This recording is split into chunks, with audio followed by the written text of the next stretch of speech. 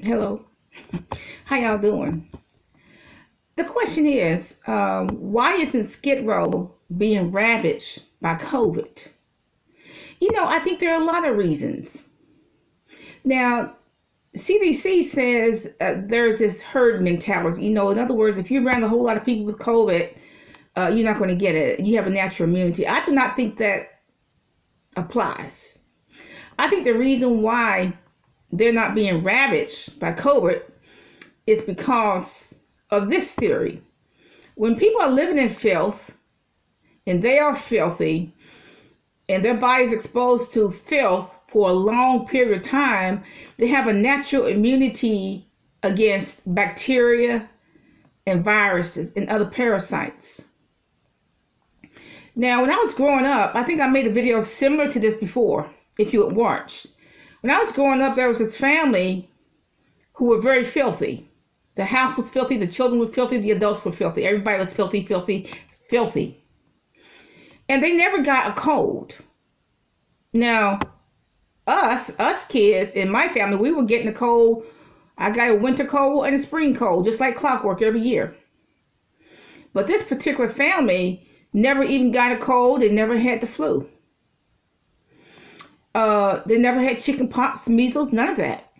You know, I had uh, the usual childhood diseases. I got immunizations like the usual childhood does.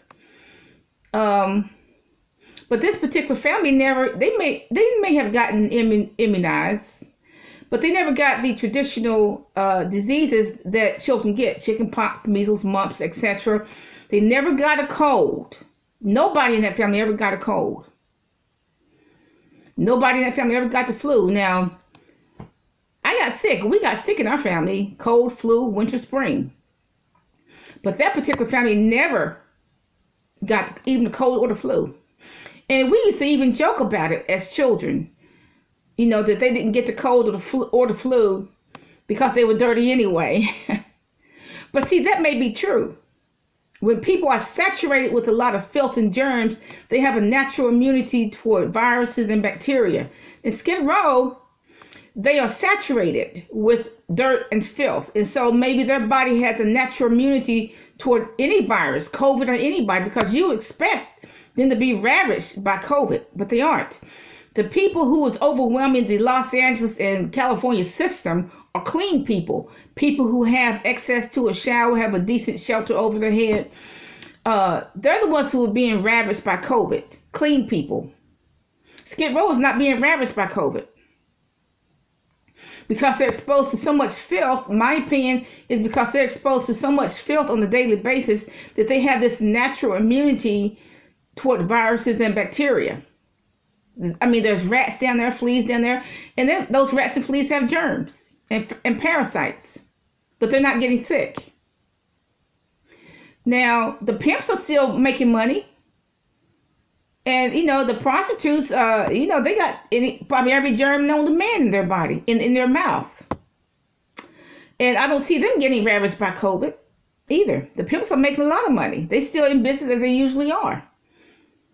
So I think, you know, my opinion is the prostitutes are exposed to so many germs and so much filth that their body has a natural immunity toward COVID or anything. Now, the prostitutes in Africa, they don't get HIV either because they they have their bodies exposed to so many germs and filth and uh, from different men. The men don't take a shower, the women don't take a shower. So you got filth on top of filth in Africa, and they are not ravaged by HIV. Um, so that's my theory is that uh, when people are on Skid Row, they they are surrounded by filth. They constantly breathe in filth, and filth constantly gets on their skin. That they are immune to any kind of viruses, bacteria, or parasites. That's my theory. Have a nice day.